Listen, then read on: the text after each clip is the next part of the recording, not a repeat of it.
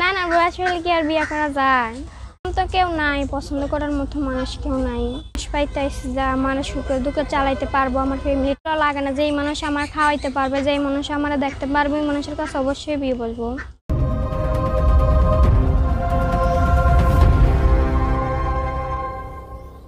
আসসালামু আলাইকুম দেশে এবং দেশের বাইরে যে যেখান থেকে আমাদের এই ভিডিওটি দেখছেন সালাম শুভেচ্ছা জানাচ্ছি আমাদের ইউটিউব চ্যানেল ও ফেসবুক পেজের পক্ষ থেকে। সম্মানিত দর্শক শ্রোতা আমরা বাংলাদেশের বিভিন্ন অঞ্চলে গিয়ে বিভিন্ন অসহায় নারী নারী উদ্যোক্তা বিভিন্ন সম্প্রদায়ের মানুষের জীবনের গল্প তুলে ধরি। দর্শক আজ আমরা এসেছি কুমিল্লাতে তো আমরা শুনব এই বোনের জীবনের গল্প। আসসালামু আলাইকুম। ওয়ালাইকুম আসসালাম। কেমন আছেন? ভালো আছি। একটু জোরে কথা বলবেন বুঝিনি? ভালো আছি। ভালো আছেন? কি নাম আপনার? আমার নাম আখি। হ্যাঁ? আখি। একটু জোরে বলতে হবে। আপনার কথা। আখি আখি। আখি? আচ্ছা আপনি এত আস্তে কথা বলেন কেন? কি করব ভাই কথা বাইরে দিয়া। হ্যাঁ মানে বুঝলাম না আপনার কথা। আর একটু জোরে বলেন। হ্যাঁ বলতেছি তো। মানে আপনি কি মানে জোরে কথা বলতে পারেন না? হ্যাঁ পারি তো কথা বলতে পারি। আচ্ছা আপনার ফ্যামিলিতে কে কে আছে? আমার ফ্যামিলিতে দুইটা বোন আছে একটা ভাই আছে আর আমার একটা মা আছে। আচ্ছা বাবা মা কি করেন? আমার বাবা মারা গেছে আমার মা বাসা বাড়ি কাজ কাম করে এখন আর করতে পারে না। হয়তো এখন অসুস্থ হয়ে গেছে বুড়ো মানুষ তো এর জন্য আর বাসা বাড়ি কাজ কাম করতে পারে না। বাবা মারা গেছে কতদিন হলো? এই তো বাবা মারা গেছে দুই বছর হবে। দুই বছর হলো। আপনার বয়স কত? আমার বয়স সতেরো। সতেরো বছর। এমনি আপনি কি কোনো কাজ করেন না লেখাপড়া করেন?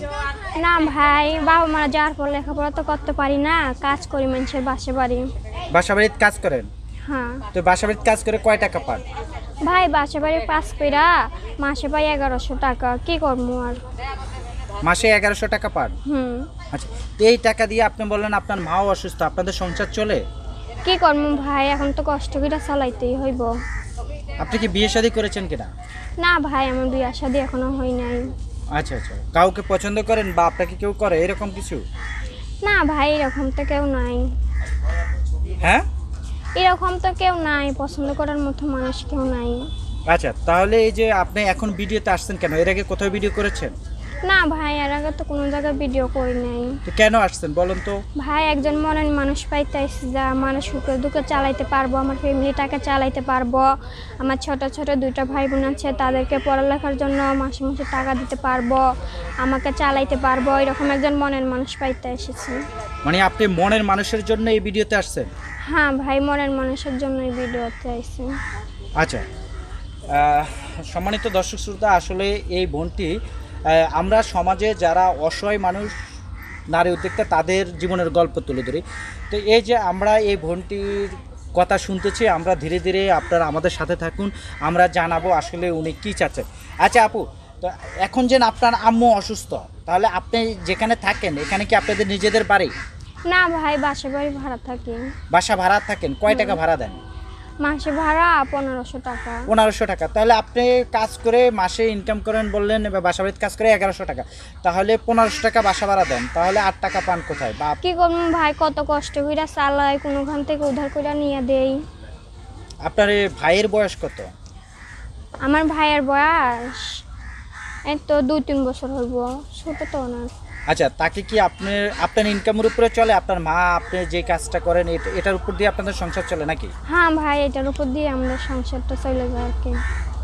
আচ্ছা তো এই যে ভিডিও করলে মানে বললেন যে আপনার মনের মানুষ পাওয়া যায় বা এখন পর্যন্ত কোথাও কোনো প্রেমের প্রস্তাব পাননি?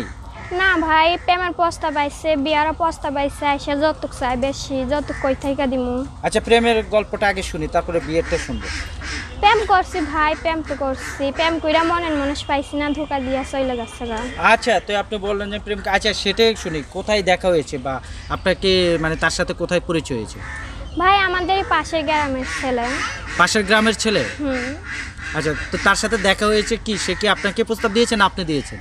না ভাই আমার প্রস্তাব দিয়েছে পরে পিরিত কইরা ধোকা দিয়া চলে গেছে গা গরিব বইলা বিয়া করতে চায় না যৌতুক চায়। কতদিন করেছেন প্রেম? আ? প্রেম করেছেন কতদিন? এই তো এক মাস প্রেম করেছি তো এক মাসে ধোকা খেয়ে গেছেন? হুম কি করব গরিব বইলা বিয়া করতে চায় না তার বাবা মা নাকি একজন ধনী মেয়ে বিয়া করতে চায়। যারা যৌতুক দিতে পারবে আমরা তো আর যৌতুক দিতে পারব না তাই আমাদেরকে বিয়ে করাইলো না। তাহলে এই যে ভিডিও দেখে যদি কেউ ভালো লাগে আপনাকে তখন কি করবেন? হ্যাঁ যে আমার ভালো লাগবে যে আমার সুখে দুঃখে চালাইতে পারবে আমার ফ্যামিলিটাকে চালাইতে পারবে তা তার কাছে অবশ্যই বিয়ে বসবো। মানে যে আপনার ফ্যামিলি চালাতে পারবে তার কাছে বিয়ে বসবেন হুম। মানে সেটা হলো তাকে সে দেখা গেছে বিয়ে করবে আপনাকে আপনার ফ্যামিলি দেখবে কেন? হুম? বিয়ে তো করবে আপনাকে। দেখেন বাঙালি ছেলেরা যদি কাউকে বিয়ে করে তাহলে আপনাকে তা শ্বশুর বাড়িতে নিয়ে যাবে। তাহলে আপনার বাবা মাকে কি সে দেখবে? কেন? তো আমার ফ্যামিলিতে আর বর্তমানে বড় কেউ নাই। আমি ছাড়া আমার ফ্যামিলিটাকে কেউ চালাইতে পারে না। আমি চলে গেলে আমার ফ্যামিলিটা চলবে কি করে? তা আমার বিয়ে করলে আমার ফ্যামিলিটাকে বুঝে চালাইতে পারবে না? মানে আপনি চাচ্ছেন এমন কাউকে সে যেন আপনার ফ্যামিলি দেখে এবং আপনাকে দেখে। তার বয়স হতে হবে কীরকম? এই তো পনেরো বিশ এরকম হলেই চলবে। পনেরো বছরে কি কেউ বিয়ে করে নাকি? করেই তো। হ্যাঁ? পনেরো বছরের তো মেয়েও বিয়ে করে না ছেলে তো দূরের কথা। মানে এর চেয়ে যদি ধরেন চল্লিশ পঁয়তাল্লিশ বছরের লোকজন বিয়ে করতে চায়?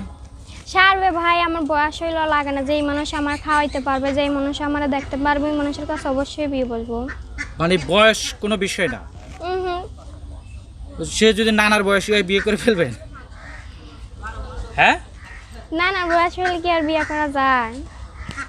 মানে আপনি তো এই যে আপনি বললেন না যে বয়স যেমনই হোক না কেন বিয়ে করতে রাজি। হ্যাঁ? বললামই তো বিশ কি তিরিশ এরকম। সম্মানিত দর্শক শ্রোতা আপনারা শুনলেন আসলে এই বোনের জীবনের গল্প। আপনি তো একদম বোরগা পরে টরে হিজাব টিজাব পরে আসছেন ভিডিও করার জন্য। হুম। এটা কি ভিডিও করার প্রস্তুতি নাকি আপনি সবসময় এইভাবে থাকেন?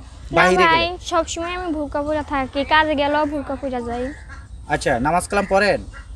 হ্যাঁ ভাই পড়ি। আচ্ছা তাহলে এই ভিডিও দেখে আপনার সাথে যোগাযোগ করবে কীভাবে? ভাই আমার একটা ছোট মোবাইল আছে এই মোবাইলের নাম্বারটা দিয়ে দেবো। আপনার নাম্বার দিয়ে দিবেন? হুম। নাম্বার কি আপনার মুখস্থ আছে? মুখস্থ নাই তো। মুখস্থ নাই? তাহলে কি আমরা কি ভিডিওতে দিয়ে দিব নাম্বার? হ্যাঁ ভিডিওতে নাম্বার দিয়ে দেন। আচ্ছা সম্মানিত দর্শক শ্রোতা আমরা ভিডিওতে এই বোনের নাম্বারটি দিয়ে রাখব।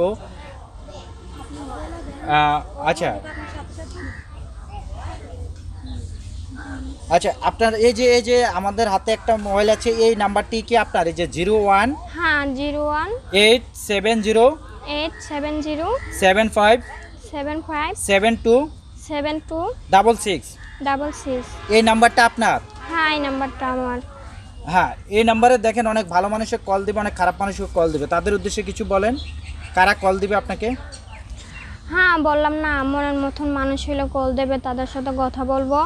শুধু মনের মতন মানুষ হলে কল দিবে? হুম। আচ্ছা নাম্বারটা আরেকবার বলব? বলো।